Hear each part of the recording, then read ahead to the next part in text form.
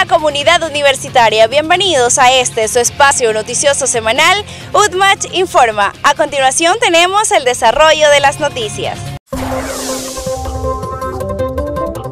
UDMACH Informa. Autoridades de la UDMACH se pronunciaron sobre el informe de Cenecit acerca del proceso eleccionario. Autoridades del alma mater orense se pronunciaron sobre resultados de informe de Cenecit este lunes 13 de noviembre en una rueda de prensa que se realizó a partir de las 11 de la mañana en el salón de eventos del edificio de Administración Central con la presencia masiva de docentes, servidores, trabajadores y estudiantes. La Procuradora General Ruth Moscoso dio a conocer sobre el informe técnico jurídico de la Cenecit que en este caso salió favorable para la institución y autoridades. Frente a esto y una dura batalla legal, hemos obtenido una respuesta por parte de la Secretaría de Educación Superior, Ciencia, Tecnología e Innovación. Puede evidenciar entre las conclusiones que el proceso de elecciones realizado en la Universidad Técnica de Machala ha sido un proceso legal y legítimo y que no solamente ha vencido la universidad, sino también la democracia. Por su parte, el rector César Quesada indicó que seguirá trabajando por la institución universitaria. Una vez más, brilla la justicia, brilla la verdad y quisiéramos que estemos siempre atentos los universitarios. No se trata de defender a las primeras autoridades, se trata de defender lo que hemos logrado, lo que hemos conseguido. ¿O es que acaso nosotros no recordamos que esta universidad estaba cerca del abismo? De igual manera, la vicerrectora académica Amarilis Borja y el vicerrector administrativo Johnny Pérez se manifestaron sobre el análisis de CNC. Nosotros somos muy respetuosos de lo que señala la ley. Por lo tanto, daré con el Conocimiento General del CES, cada uno de nosotros tomaremos las acciones que nuestros abogados nos indiquen que las debemos de tomar. Porque, reitero, se han atropellado nuestros derechos. Hoy quiero presentar mi total respaldo a nuestra institución, nuestra querida y respetada Universidad Técnica de Machala, cuyo honor trató de ser mancillado a través de denuncias infundadas. También quiero dar el respaldo a mis compañeros de fórmula. UDMACH presente en Casa Abierta sobre servicio preventivo para pacientes diabéticos y no diabéticos organizada por el Club de Leones de Machala. Domingo 12 de noviembre, estudiantes de Enfermería, Ciencias Médicas, Bioquímica y Farmacia participaron en Casa Abierta sobre servicio preventivo para pacientes diabéticos y no diabéticos en el Parque Juan Montalvo de 7 de la mañana a 12 del día, organizada por el Club de Leones de Machala. Stalin Solórzano, docente de la universidad, en conjunto con los estudiantes de la carrera de Enfermería y Bioquímica y Farmacia, realizaron la medición de glucosa, toma de presión arterial y nutrición en su stand denominado Prevención de la Diabetes.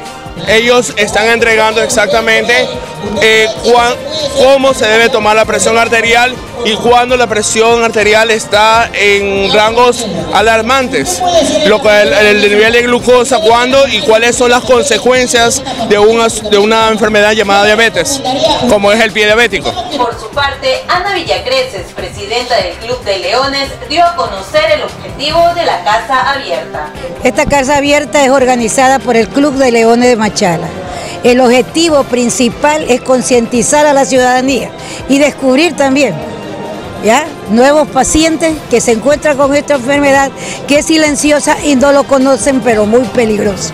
Daniela Guzmán, estudiante de la carrera de Ciencias Médicas, indicó la experiencia de vincularse con la comunidad. Pues me parece muy bien, eh, muy interesante porque es ya convivir con el paciente, va a ser nuestra vida futuro, este, tiene mucho que ver con nuestra profesión y qué más bonito que ahora este, ya ir vinculados con ellos y saber cómo tratar y cómo enfrentarnos, cómo conversar con ellos y cómo este, entendernos entre ambos pacientes. Mariano Gómez, beneficiario de la Casa Abierta, recalcó la importancia de estas actividades. Por lo que uno quiere estar eh, bueno, pues no estar, digamos, con enfermedad ninguna, estar con su salud completa para trabajar. UDMACH y Asociación de Scouts del Ecuador Atama número 5 firmaron convenio. La Universidad Técnica de Machala y la Asociación de Scouts del Ecuador Atama 5 firmaron la mañana del jueves 9 de noviembre un convenio específico de cooperación institucional, acto que se desarrolló a partir de las 10 horas en la sala del rectorado, con la presencia de los representantes de ambas instituciones. César Quesada, rector de la UDMACH, y Lorenzo Bonisoli, jefe del grupo Atama de la ciudad de Machala, firmaron este acuerdo de cooperación mediante el cual la institución universitaria se compromete a ofrecer el espacio físico e infraestructura para la normal activación del grupo Scout. Previo a la firma de este compromiso, el rector, César Quesada, agradeció la presencia de los miembros de este grupo, a los que felicitó por su labor para con la naturaleza y las actividades que se realizan al aire libre, como laboratorio donde aprenden ecología y practican la conservación de los recursos naturales. Estudiantes de la carrera de Ingeniería en Alimentos recibieron jornada de capacitación por parte de ARCSA. El viernes 10 de noviembre se realizó la clausura de la jornada de capacitaciones ARCSA, organizada por la carrera de Ingeniería en Alimentos con los temas Buenas prácticas de manufactura, Notificación sanitaria simplificada y Ventanilla única ecuatoriana, realizada los días 8, 9 y 10 de noviembre en el antiguo Salón Auditorio. Verónica Bravo, docente organizadora, indicó el objetivo de dicha capacitación. Eh, realmente es muy importante porque los chicos ya futuros profesionales pueden ya irse involucrando y pueden conocer en la página de ARSA cuál es el trámite como tal para todo un proceso de notificación sanitaria y sacar un producto al mercado que cumpla toda la legislación que nos pide el país. Por su parte, los estudiantes de la carrera que asistieron a comentaron su experiencia a lo largo de la jornada. Eh, muy bueno, actualizando conocimientos que ya teníamos anteriormente, sin embargo, cada vez y cuando se dan lo que son actualizaciones en lo que son las leyes, entonces eso viene unido a lo que ahorita vimos realmente muy importante, temas que nos van a servir profesionalmente en nuestra vida, temas que gratifican eh, y refuerzan todos los conocimientos que hemos obtenido en las clases. La carrera de jurisprudencia eligió a su reina en baile de gala. Con motivo de la celebración de sus 20 años de aniversario, la carrera de jurisprudencia de la Universidad Técnica de Machala eligió a Mari Carmen Cueva, de 20 años de edad, estudiante del tercer semestre paralelo A, como su nueva reina en una velada realizada en el club del Banco de Machala.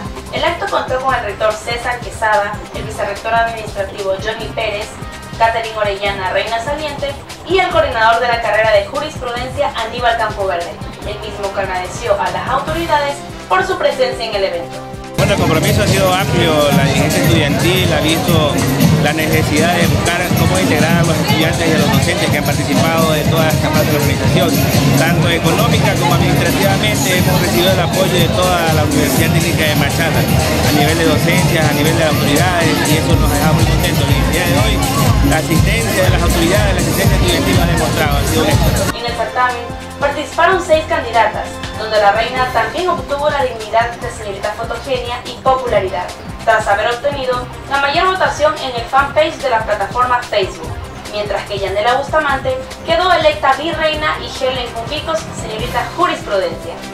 Bueno, en realidad es algo que no me lo esperaba, todas las candidatas estuvimos muy guapas y estoy muy agradecida con mi curso, con toda la gente que me estuvo apoyando, eh, con la barra que tuve, eh, mi, familia, eh, siempre estuvieron ahí apoyándome y le doy gracias a ellos. Por su parte, Andrés García, miembro del Comité de Presidentes de Cursos, mencionó el objetivo del evento. Bueno, eh, quiero recalcar que el objetivo de este baile siempre ha sido recaudar fondos para destinarlo a lo que es la biblioteca. La organización se realizó desde hace tres semanas con varias actividades que hicimos en la carrera